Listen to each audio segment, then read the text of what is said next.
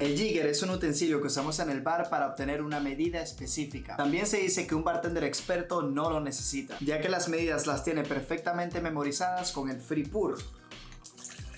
Pero sin duda el uso del jigger nos ayuda a que los cócteles tengan el mismo sabor todo el tiempo. Y por cierto, ¿sabías de dónde viene la palabra jigger? Las primeras recetas de ponche fueron escritas en el siglo XVII, en las cuales se pueden identificar los ingredientes por primera vez en medidas, ya que obviamente si encuentras una mezcla que quieres replicar, tendrías que tener una receta. Lógico, ¿no? Hay una historia acerca de unos marineros ingleses del siglo XVI, los cuales recibían dos porciones de ron todos los días. Para eso necesitaron algún un utensilio de medición. Estos panas comenzaron a usar la palabra jigger como referencia a una medida pequeña. Según esta historia, la palabra deriva de jigger mast, refiriéndose al mástil más pequeño de los barcos de esa época. Con el pasar del tiempo, vasos pequeños o tazas fueron usados como medidores, y en especial la medida de una onza fue tomando más popularidad entre los cantineros. Una onza 30 mililitros o 3 centilitros casi parecidas, y por esos tiempos se bebían los espíritus de a poquito a poquito de shot shot, los cócteles iban a aparecer luego. Es increíble como esta medida pasó a llamarse pony, haciendo referencia a esos caballos pequeños llamados ponis. Pero como de pony salta a jigger, al doblar la medida de una onza y hacer dos onzas, pasó a llamarse jigger. Entonces, por mucha historia escrita en libros antiguos, podríamos decir que la medida de una onza se llama pony y la medida de dos onzas se llama jigger. Y como ya les he explicado miles de veces, la historia es totalmente incierta. Si tienes alguna información del origen de la palabra jigger, te invito a que la compartas abajo en la caja de los comentarios. Industrialmente hablando, la primera vez que se diseñó un jigger fue realizado en Chicago, el 5 de septiembre de 1893, creado por el caballero Cornelius Duncan. Los jiggers vienen en diferentes estilos, con diferentes medidas y colores. Entre los más famosos podemos encontrar el americano, el estándar, el heavy cup, el muy famoso japonés, el Leopoldo, Mr. Slim, el spinner, el perfect jigger, el dome y los de mango para sujetar. Ahora mis panas les voy a explicar cómo usar el jigger. Los tres agarres más básicos son el agarre completo con todos los dedos, en el cual podremos dominar con máximo control el peso del jigger, evitando así derrames y este lo podemos considerar como el agarre más básico. Luego agarre con el índice. Con este se puede tener una mejor extensión de la mano al servir.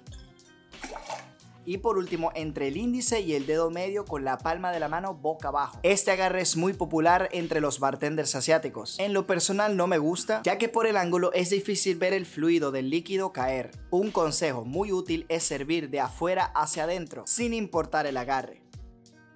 Hay muchos bartenders que sirven de esta manera, torciendo la muñeca de adentro hacia afuera. Puede realizarse con los tres agarres, pero en mi opinión no es del todo cómodo, teniendo más riesgo para el derrame.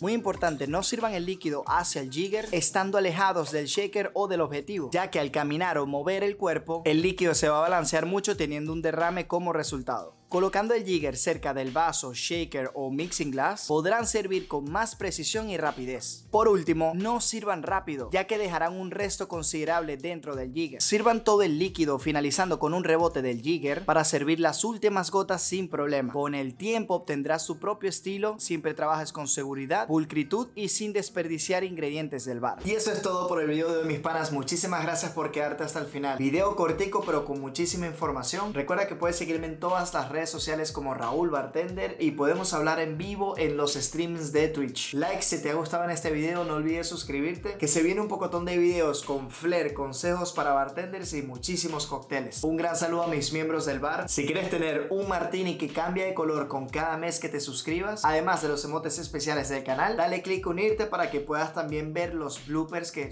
no les digan a nadie que nada más los pueden encontrar si se hacen miembros del canal. Se me cuida muchísimo y como siempre nos vemos en las barras.